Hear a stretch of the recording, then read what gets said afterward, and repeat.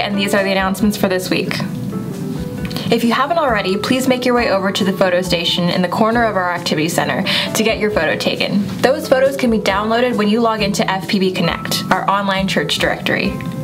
Speaking of online, we've got a great online community that join with us each week on YouTube. People who are homebound have the ability to join with us in worship, and that would not be possible without the help of our incredible tech team. However, we are in dire need of people who are willing to help serve as live stream camera operators. You don't have to have any live streaming experience, training will be provided.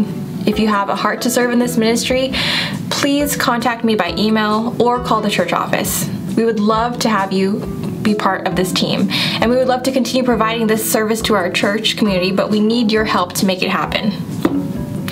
Our First Pres community is awesome, and we can't wait for midweek to come back Wednesday, August 30th. In addition to youth and children's programming, there will be two adult classes available.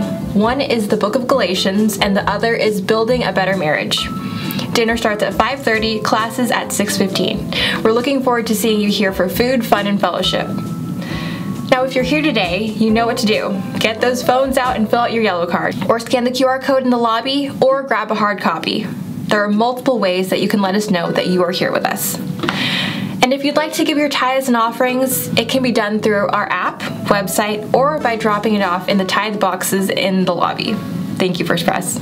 Also, last but not least, we've got some God's Got This stickers available at the welcome desk in the lobby. But you better get yours sooner than later. There's a limited supply. Let it serve as a reminder to you through the week that you got this because God's got this. Now that's all for this week. For more info on upcoming events, please make sure you check out the Church Life section of our FPB app. Have a blessed week, First Pres.